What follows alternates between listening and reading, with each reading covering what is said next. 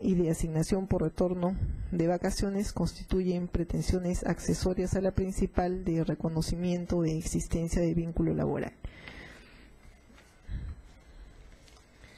Entonces, con esta precisión vamos a pasar a lo que es la confrontación de posiciones. La parte demandante deberá precisar sus pretensiones con los fundamentos de hecho que la sustentan y la parte demandada deberá precisar las defensas de fondo y forma con los argumentos de hecho que también vienen a sustentar la contradicción de la demanda. Dejamos en el uso de la palabra la defensa de la parte demandante. Muchísimas gracias, doctora. Eh, la pretensión del demandante es que se reconozca la relación laboral directa entre Pacus y él. ¿A mérito de qué? A mérito de demostrar de que realmente San Ignacio, que era la empresa donde él estaba registrado, era una filial de Bacus. Pacus tenía toda una organización, entre ellas los centros de distribución, que tenía cada uno un gerente. Pero quienes dirigían los centros de distribución eran los funcionarios de Bacus. Eso lo vamos a demostrar con las pruebas que tenemos. Entonces, ¿cuál es la finalidad? La finalidad es establecer de que, por ejemplo, el señor Becan, director de Bacus, era el jefe inmediato del gerente de la distribución. A su vez, venía en cola. O sea, realmente esta relación de dependencia no era solamente de una persona hacia Bacus, era de la organización, o sea, era una filial.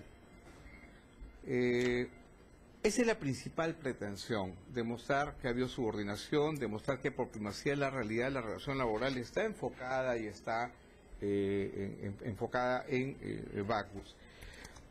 respecto a esto ya, ya ha habido este, tres pronunciamientos judiciales que los mencionaré en su oportunidad como referencia simplemente con la nueva ley procesal de trabajo, donde se ha acreditado esta relación laboral directa. A mérito de demostrar con las pruebas que en su momento señalaré que están constituidas por documentos, correos electrónicos no tachados por Bacus, actas de sesión de comité de gerencia no tachados por Bacus y otras pruebas como declaraciones testimoniales que son los que avalan estos hechos, pretendemos demostrar esta primera pretensión principal. Había una relación laboral directa. A partir de ello y estableciendo la relación de el trabajador y empleador Bacus, pedimos que se cumpla el pago de las utilidades, por cuanto la consecuencia normal va a ser el cumplimiento, quien es el empleador, de tener que pagarle a su trabajador las utilidades que es lo que se reclama.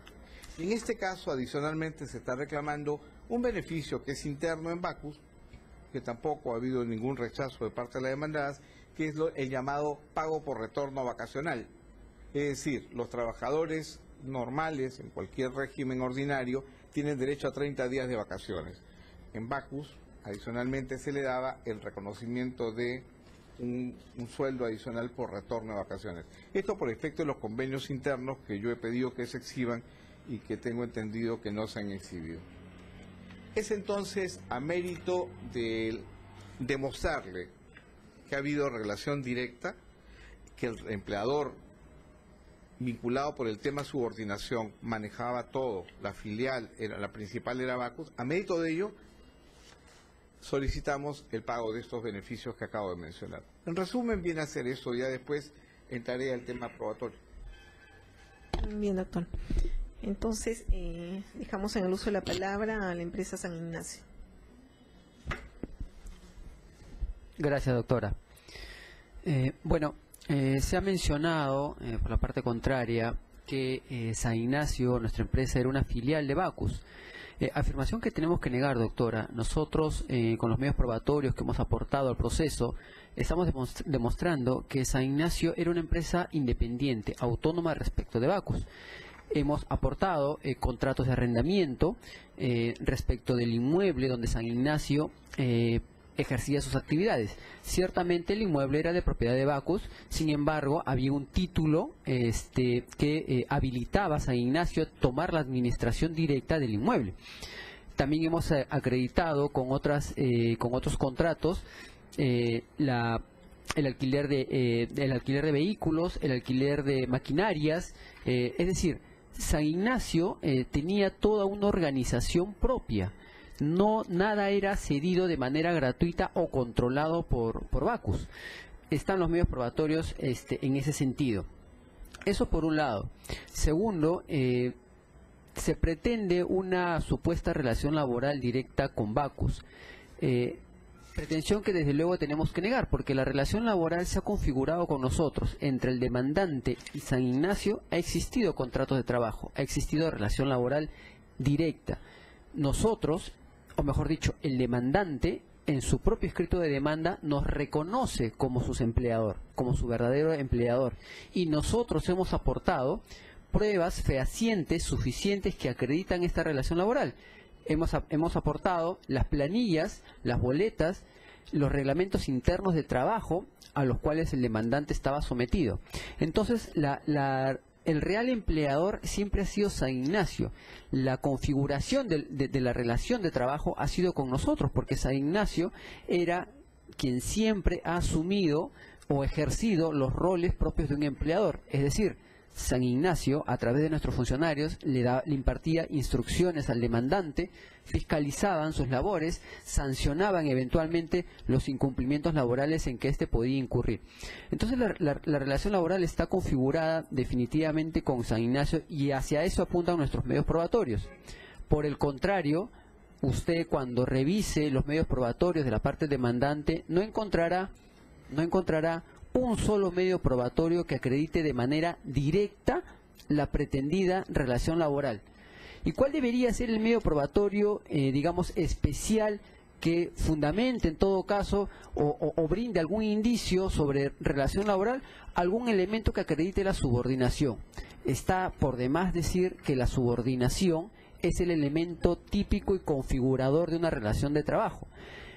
Ese elemento debería estar medianamente probado. No existe prueba en el expediente que acredite una supuesta subordinación del demandante hacia Bacus, con lo cual reiteramos, el empleador real, único y exclusivo del demandante ha sido nuestra empresa, San Ignacio.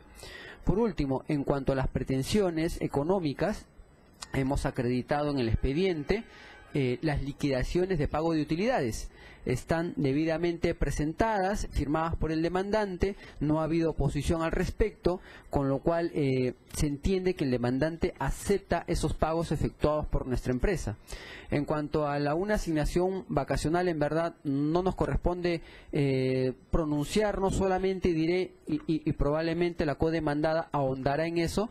Eh, tenemos entendido que ese es un beneficio pactado con el sindicato. Entonces es complicado en un escenario negativo de que el demandante sea reconocido como trabajador de Bacus, escenario negativo, insisto, sería eh, casi imposible otorgarle un beneficio porque ha sido pactado con un sindicato, sindicato al cual el demandante no pertenece. Entonces, en verdad, la, la pretensión como tal se cae. Eh, esos eh, eh, nuestros fundamentos, doctora, los cuales ahondaremos más adelante al momento de eh, desarrollar nuestros medios probatorios. Mm, gracias, doctor. Entonces, eh, uso la palabra por la defensa de la empresa Unión de Cervecerías Peruanas Bacos. Muchas gracias, doctora. A ver, sobre el presente caso hay varios puntos que es preciso abordar. en principio, quisiéramos indicar la inconsistencia de la demanda, toda vez que se habla de simulación de por parte de las codemandadas. Sin embargo, simulación de qué es lo que no se establece claramente en la demanda ni en el escrito de subsanación. Es preciso indicar por ello que la relación Baku-Sisa, si bien se inicia en el año 97, una relación comercial, esta fue desarrollándose a través del tiempo y fue en el año 2007 que se celebra el contrato de comisión mercantil que justifica en buena cuenta las comunicaciones que existían, los correos electrónicos, las cartas, las actas que fueron presentadas por, por el demandante y que si bien en ninguna de ellas se hace referencia a él, sino que a través de documentos en los cuales se mencionan a terceras personas, se pretendería acreditar esta supuesta subordinación directa hacia mi representada. Entonces, como vemos, y del, expediente y de los medios probatorios adjuntados en la demanda, no existen en autos un documento que acredite la subordinación directa que prestaba los servicios directamente a mi codemandada y que mi, y mi representante era quien le pagaba la remuneración. Volviendo al periodo demandado, en este periodo, que es del 2006 al 2009, existió un contrato de comisión mercantil, un contrato válido a través del cual, eh, de manera exclusiva en este periodo, que CISA, San Ignacio Lago Demandada, distribuía los productos que fabricaba mi empresa, mi representada.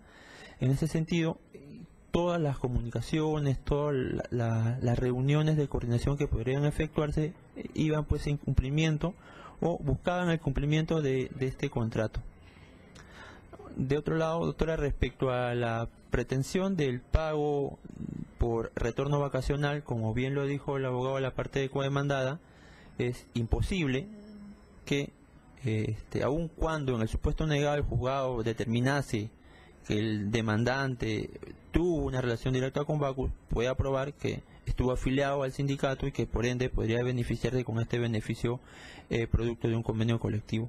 Ahora, en, esencia, eh, nuestra, nuestra argumentación respecto al proceso es básicamente indicar que no hubo una relación directa con el demandante, lo que hemos tenido es una relación comercial con la demandada CISA y que prueba de ello es que adjuntamos todos los contratos que obran como medios probatorios en nuestro escrito de constatación de demanda y que en su momento oralizaremos ¿no? para acreditar nuestros dichos.